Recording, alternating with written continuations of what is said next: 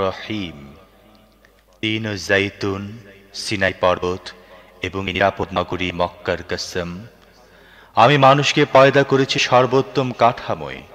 তারপর তাকে উল্টো ফিরিয়ে নিচতমদেরও নিচে পৌঁছে দিয়েছি।